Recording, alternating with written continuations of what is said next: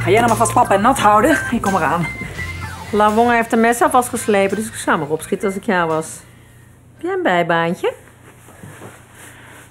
Hoezo? Als oppas? Babykots op je Armani.